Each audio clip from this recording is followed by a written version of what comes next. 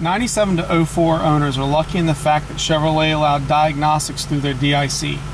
This, however, was not common knowledge and it was probably meant for the dealer techs.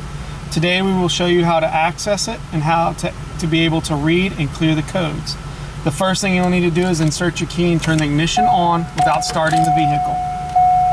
Once ignition is on, you will need to clear off anything off the DIC like a door jar, hatch ajar. You do this by just hitting the reset button. Once you're all the way back to the odometer, what you're going to do is you're going to hold down the options button and then press the fuel button four times. That'll bring you into diagnostics and then you're going to hit any button one more time to bring into bring you into manual diagnostics.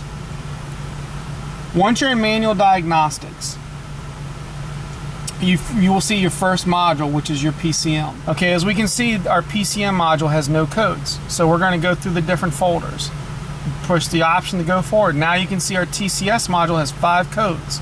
To go through the, mo the modes, or the codes, you're going to press 2 for gauges. And you can see we have a C1218, 1221, 1222, and 1248. In order to clear these, all you have to do is hold reset. Now you can choose to look at the individual codes in a module or you can erase a whole module as soon as uh, it's highlighted. I'll show you that next. The BCM has eight codes. We're going to erase all of them without looking by holding the reset button down. And you can do this through all your modules.